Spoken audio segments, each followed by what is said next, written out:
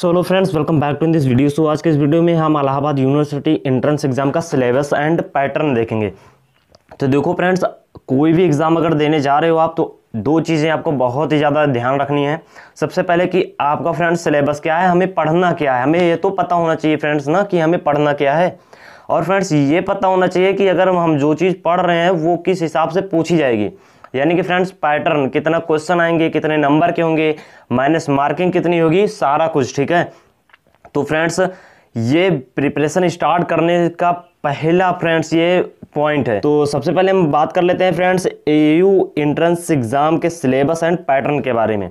तो देखो फ्रेंड्स, ये for UG BA and admission मतलब यूजी कोर्स के लिए एंड बीए एडमिशन टेस्ट के लिए।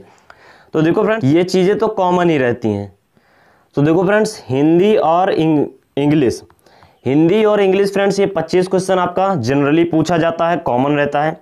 जनरल अवेयरनेस आपका friends 25 question general mental ability test 25 question and friends आप, कोई भी तीन सब्जेक्ट चूज़ कर सकते हो, जो आपको पसंद हो, उसमें से 75 क्वेश्चन पूछे जाएँगे, यानी कि 25 25 क्वेश्चन तो फ्रेंड्स 25 दूना पचास या पचहत्तर और ये पचहत्तर फ्रेंड डेढ़ सौ।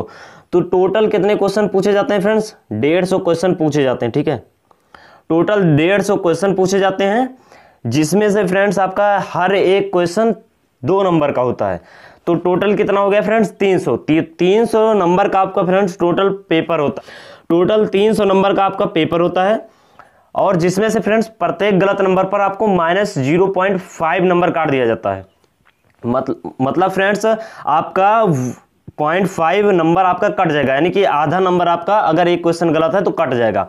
ये तो फ्रेंड्स जनरली हो गया बट कुछ चीज़ के लिए, जैसे अगर आप बीएससी होम साइंस से कर रहे हो तो उसमें फ्रेंड्स ये मेंटल एबिलिटी टेस्ट नहीं आता है, ठीक है? तो उसमें ये केवल तीस ही क्वेश्चन आता है, बीस आता है आपका जनरल अवेयरनेस से मतलब हिंदी एंड एबिलिटी टेस्ट से, फिर दस जनरल अवेयरनेस से एंड बाकी आपका आता है इससे, एक सौ बीस क्वेश्चन सब्जेक्ट जो आप लिए होते हो, ठीक है? तो ये फ्रेंड्स यूजी में कोई भी, जैसे बीएससी बीएससी कर रहे हो आप बीए कर रहे हो BSc home science BSc friends आप मैथ से कर रहे हो बायोलॉजी से कर रहे हो, किसी से भी कर रहे हो, ठीक है? लेकिन होम साइंस के लिए अलग है। और पीजी के लिए भी लगभग सेम है फ्रेंड्स बट कुछ उसमें भी डिफरेंस है। जैसे अगर आप बीकॉम कर रहे हो तो बीकॉम में भी फ्रेंड्स, ये 120 क्वेश्चन आपका आता है। अगर आप जो सब्जेक्ट चूज़ करते हो, उसके बाद जनरल अवेयरनेस से बहुत कम क्वेश्चन, लगभग 20 क्वेश्चन एंड 10 क्वेश्चन उससे मतलब डेढ़ सौ क्वेश्चन टोटल आता है, ठीक है? तो ये चीज़ आपको ध्यान में रखना है कि डेढ़ सौ क्वेश्चन टोटल आपका आता है, जिसमें से फ्रेंड्स आपका हर एक क्वेश्चन दो नंबर का होता है और माइनस मार्किंग पॉइंट होती है, ठीक है?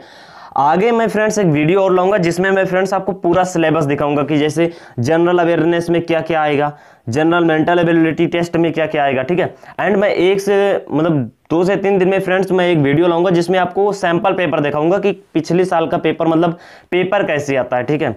मतलब एक सैंपल पेपर दिखाऊँगा कि, ताकि आपको पता चले, एक आइडिया लगे कि इसी प्रकार के पेपर आते हैं, ठीक है? तो आई होप आप समझ गए होंगे। अगर अभी तक आपने चैनल को सब्सक्राइब नहीं किया तो इंतज़ार किस बात का फ्रेंड्स, प्लीज़ सब्सक्राइब कर दीजिए। मिलते हैं आगे नेक्स्ट वीडियो में। तब तक के लिए बाय टेक केयर, जय हिंद।